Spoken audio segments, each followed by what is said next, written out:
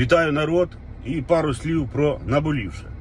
От. Хочу звернутися до всіх тих е, ЧВК, чи як там, ТВКшники і ці, блін, е, воєнкоми срані, які е, просто сиділи все життя на бюджеті, ніхіра не робили.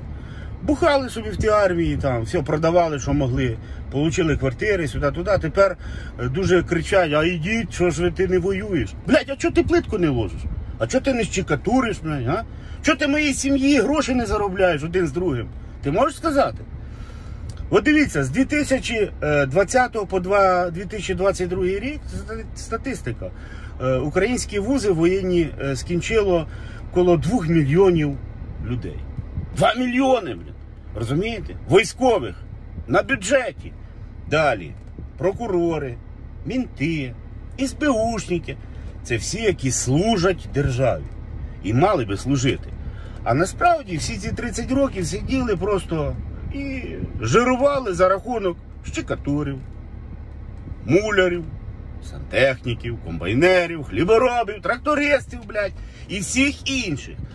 А як прийшла, що треба їм працювати, відробляти гроші свої, захищати ну, батьківщину, бо то є їх праця.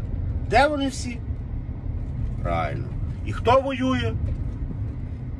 Комбайнери, хлібороби, трактористи, плиточники, штукатури, будівельники. От, розумієте? Так то виглядає. Але беруть на те, що ось ви маєте захищати. Та ми захищаємо і захищали, і будемо захищати. По вон люди збирають гроші. Хто що може.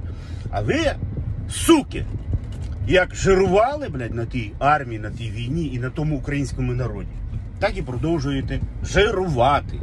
Так що ви, народ, відповідаєте тим всім козлам, так, нема проблем. Давай так. Ти скільки на бюджеті? 20 років сидів, так? Значить, давайте всю зарплату за 20 років. Перечисляй моїй родині. От, я йду воювати, а ти йдеш, щекатуриш, хати, не знаю, муруєш, або ще щось робиш і собі заробляєш гроші.